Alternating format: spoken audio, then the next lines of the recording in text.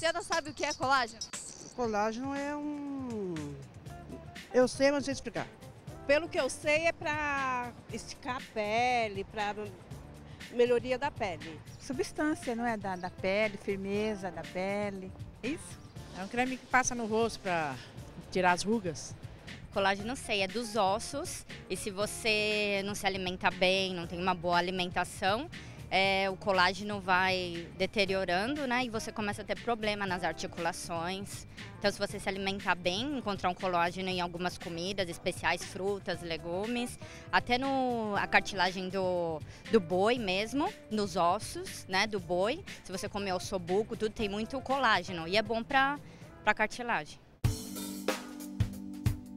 O colágeno é produzido pelo nosso organismo desde o nascimento mas essa produção vai diminuindo a partir dos 30 anos. Para conter essa perda e estimular a produção dessa proteína no corpo, muitos procuram os consultórios médicos. Mais ou menos aí entre 25 e 30% das proteínas que, que estão no nosso corpo, a, elas são provenientes do colágeno, né? Quando o pessoal vem procurando colágeno em consultório, normalmente a, a, a procura é para melhorar as desordens estéticas, né? Então, melhorar é, o envelhecimento precoce, ruga, celulite. Uh, mas por ser uma proteína, o colágeno normalmente ele vai ser utilizado de dentro para fora. A nutrição por si só já funciona dessa forma, né?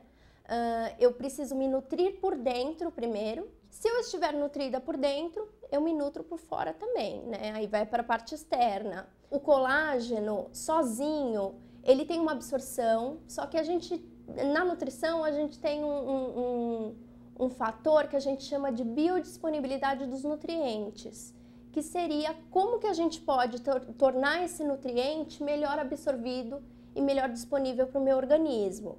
O colágeno ele tem uma boa associação com a vitamina C, então toda vez que eu combino é, as fontes de colágeno junto com a vitamina C, eu tenho um colágeno muito mais forte, muito mais estruturado.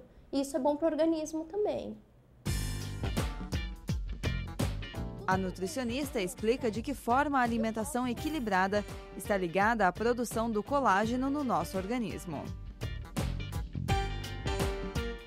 Lógico que o, o colágeno ele é proveniente de, de fontes uh, animais, mas o, o, o colágeno por si só não vai ajudar em nada se o objetivo é melhorar a desordem estética. Eu preciso de vitamina antioxidante, que eu só vou obter através do consumo de vegetais, é, frutas. O, aquela questão do prato colorido é justamente por isso, né?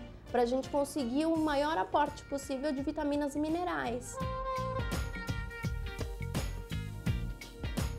Como o colágeno é uma proteína, a gente normalmente encontra o colágeno mais em proteínas de origem animal. Então, por exemplo, as carnes, frangos, peixes, ovos.